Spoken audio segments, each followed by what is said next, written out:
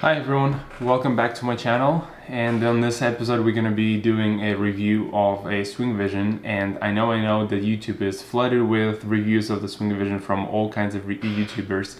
But it's 2022 out there and I thought that I'm gonna be able to provide my own take on the app and the whole idea behind it.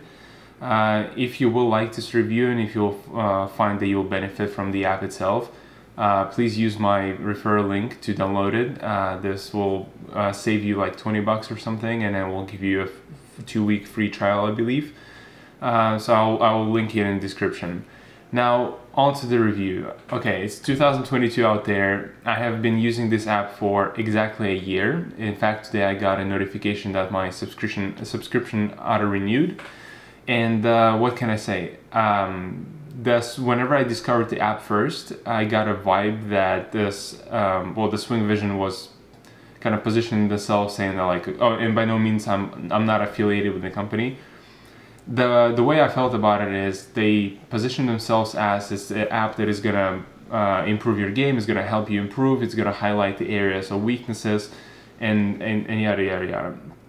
Did I find that to be true? Not really. Uh, the way and here I'm gonna explain why um, and why actually still why I still like this app a lot. First of all, there are three uh, types of tennis uh, players. There are uh, YouTubers like like me out there, right? Not a small, uh, not a very big population. There are there are pro athletes uh, that are that play ATP tournaments. Um, those guys probably don't even watch my channel. Um, and then there are two more, um, actually. The, the, the, juniors who already can uh, perform really well and they are probably going to go play college. And uh, finally, just um, uh, recreational level players, no, like without any age categories that, that, that enjoy playing USTA tournaments in leagues. They're between 3 0 to 3 0 to 5 0 level. So each one of so the the first uh, the for the YouTubers why this app could be good if you're thinking about starting a YouTube channel. Obviously, for me the biggest value is that it cuts the clips for me, so I don't have to sit there and um, cut every single uh, cut, cut every single set or something like that and leave out the boring stuff. It does it automatically, which is super nice. That kind of feature also. It's, well, this is basically the most valuable feature for me the other feature that I discovered recently that helps me a lot is the um, is the Apple Watch app because it tracks you stuff like heartbeat. It lets you control the camera from your watch. That way you don't have to be going back and forth and thinking like, oh, what? How's my camera look like? I need to adjust it. Is it still recording? All that kind of stuff. It takes out some of the headache away from my uh, game. Now, aspiring juniors, uh, why this app could be um, could be interesting for you is now when I go to tournaments, I see a lot of um, a lot of people. They bring cameras with them. Uh, usually, it's a GoPro camera. Uh, but this the video the video clips that you will see here are all shot on iPhone 13, and obviously this this app works only on iOS. Uh, so those people who come into the tournaments with uh, GoPros, imagine the time that you're still gonna be sitting and uh, looking all how you like pick up balls and all that kind of all, all kind of boring stuff. This app will help you to speed out the process of analysis. Essentially, like you're gonna be sitting with your coach, looking at the set that you lost or won, and then you're gonna be able to. Um, your coach will be able to help you, or you're gonna be able to help yourself. Just watching watching the match a little bit more efficiently, a little bit quicker, quicker. Um, because again, time is money, right? Now, uh, the last category of people who this app could be interesting to is uh, recreational level players uh, because it's fun. Like I mean, the app is simply fun. Uh, you can you can. Uh, I really love the feature. Oh, and I, I, must say I'm not gonna go through all the little menus on the phone or Apple Watch. There are plenty of YouTubers who've done it. I'm just gonna take my.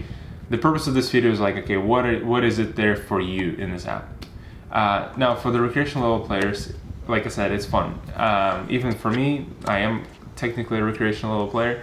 Um, it is fun for me too. Uh, the the app is whenever you're done with a session, the app highlights stuff like five longest rallies, five best shots, uh, five fastest serves, um, whatever. So it's just fun to use. And now, and even when I use this app on uh, on my YouTube channel, a lot of people, the first people, like first, one of the first comments was always like, oh, how fast is your serve? Oh, this serve is slow. Yes, Swing Vision has a problem of understating the serve. Even even when you have the perfect setup, and it's uh, from what I found, it's it's the most important part of this is uh, to have the net tape not cover the service line, which is actually harder to do to do uh, than you think. That is, but even when you have the best setup, um, it's still going to understate um, this the, the serve speed severely. It may not understate shots as much. Like the, I found that shots are actually uh, fine. Like I mean, you, uh, it's it's not that, that understated. My guess is because like the way the way the, the way the app works. I'm just guessing. Um, it just it looks at the distance of the court and tries to somehow come up with like the time that uh, the ball covers like covers the cord.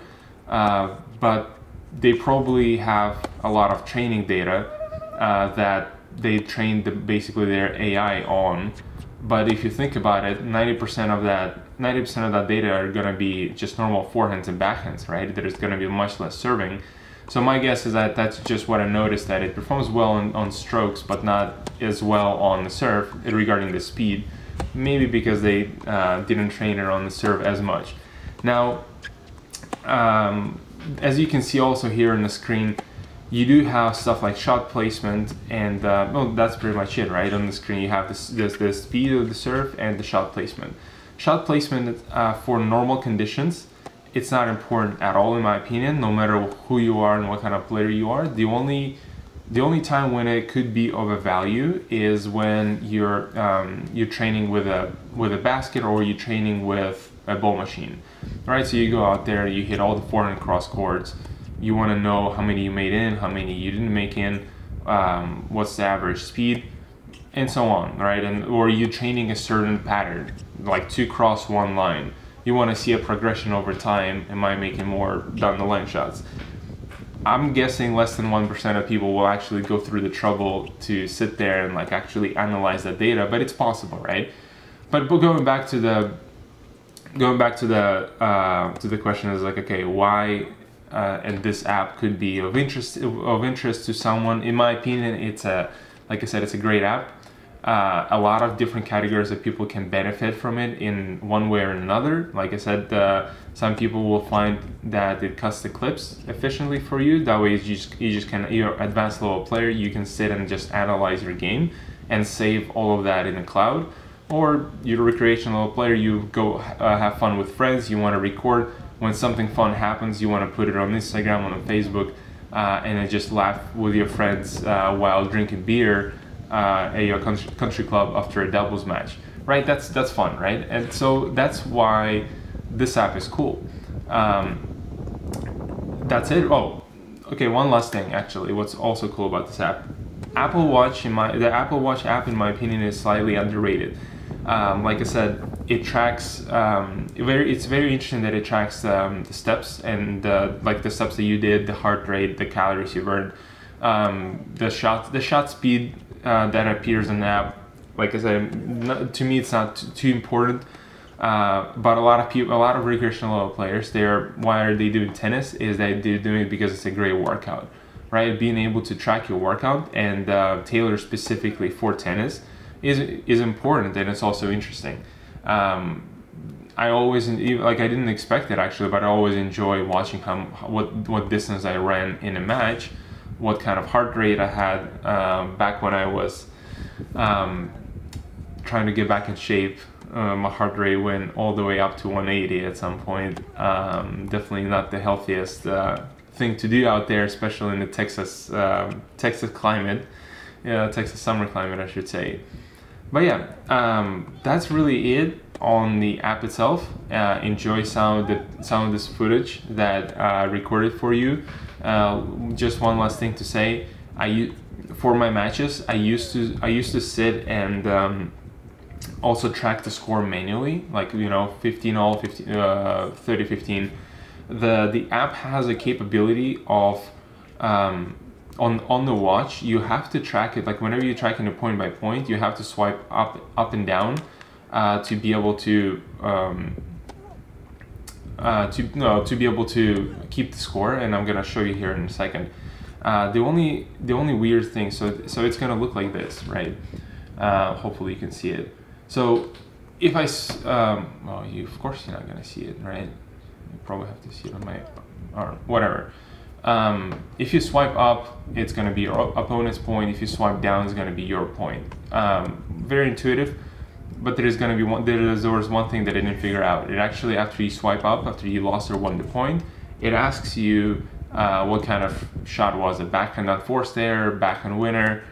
I didn't actually find a way to turn it off, um, but it's super annoying because I don't know like who has the time to go out there and like think, oh, was that backhand forced or unforced error, right? But anyway, um, couple small, not even bugs I should say, but just nicks in here. But overall, greatly built app.